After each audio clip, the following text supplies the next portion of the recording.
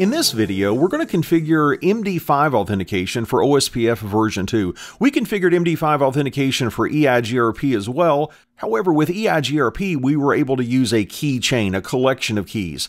We don't have that option with OSPF version 2. However, we can create more than one key. And if we want to get rid of an older key, what we can do is add on a new key to all of the router interfaces connected to the same subnet. We give each of those interfaces on all of those routers the new key, and then we can go delete the old key. And Cisco does a good job of making sure that this is not going to interrupt service. Because if I do have a couple of keys configured right now, my router is going to be able to send both keys to try to authenticate with a neighbor, and I will accept both keys if a neighbor is trying to authenticate with me. Then we can go in and delete the old key. And the reason we're able to delete the old key without messing things up is that this MD5 authentication wants to use the newest key. We'll see a verification command a little bit later in this video that will tell us what is the youngest key. And the youngest key doesn't have anything to do with the key ID. It's not the highest number or the lowest number. Literally, it's the youngest key. It's the key that's been configured for the shortest amount of time. In our example, we're just going to configure a single key, but I wanted you to understand how we could get rid of an older key and replace it with a newer key.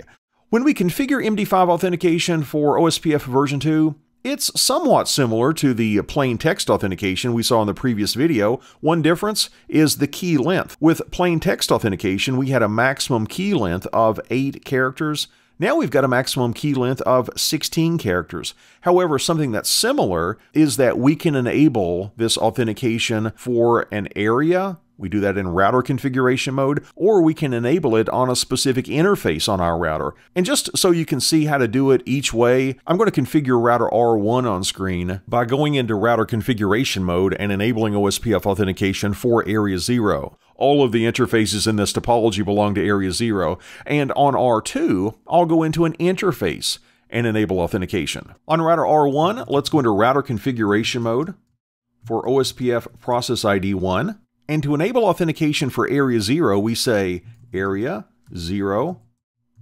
authentication, and context sensitive help shows us that message digest is the only option here.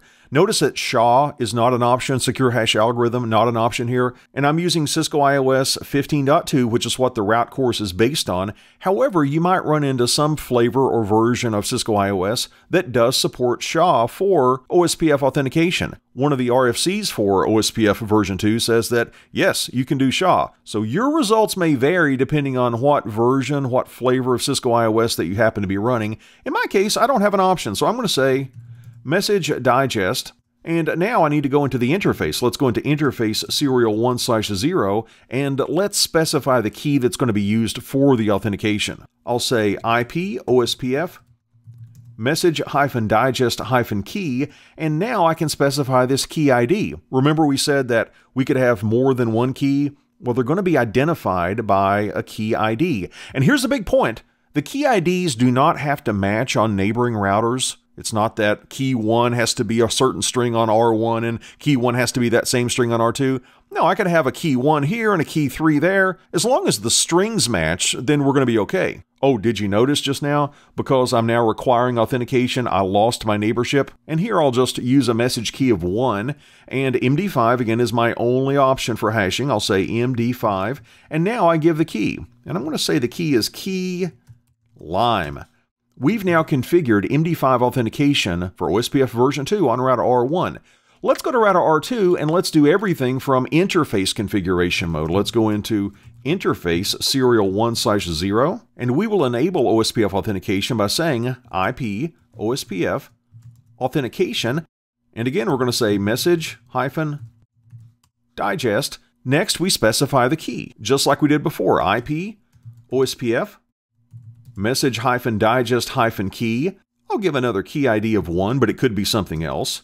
And I'm going to use MD5, that's my only option. And my key string is going to be key lime.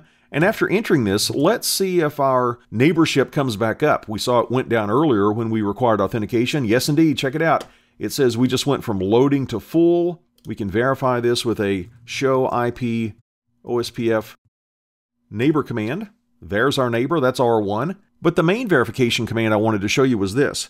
It's show IP OSPF interface followed by the interface identifier for the interface that's doing the authentication, serial 1 slash 0 here on R2, and take a look at the bottom two lines of the output. It tells us what kind of authentication we're using. It says message digest authentication is enabled.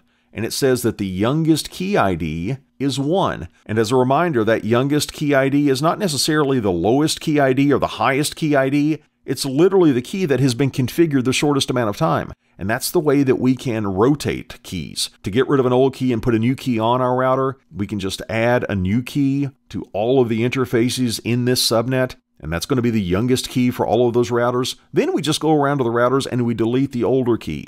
And that's a look at how we can configure MD5 neighbor authentication for OSPF version 2.